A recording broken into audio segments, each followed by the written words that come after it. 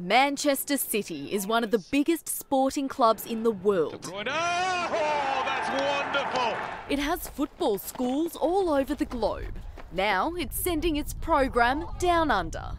It's a big coup. We've been working at it for months, and probably the hardest thing was been to keep it a secret. The school will be based at Bundoora's Parade College. A Manchester City coach will move to Melbourne to teach the club's program to students. I would, I would have loved it, to be honest. We had nothing like this, so for the kids coming in next year, it's going to be really good and really big for them.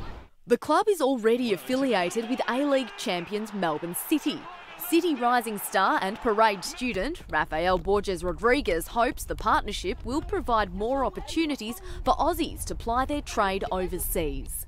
Yeah, it's, it gives us a good pathway to go to, so all the kids have something to look forward to and something to work towards. These young stars can't wait to get started. Um, for me, especially, I think it's a very good opportunity to well get noticed especially for us that have dreams of playing for clubs like Manchester City. Applications for next year's program are now open to all budding footballers. Children of any skill level can apply online. They really want to develop football, you know, in a, in a sense, not just at the elite level. The program will officially kick off in January next year. Natalie Anides for 10 News First.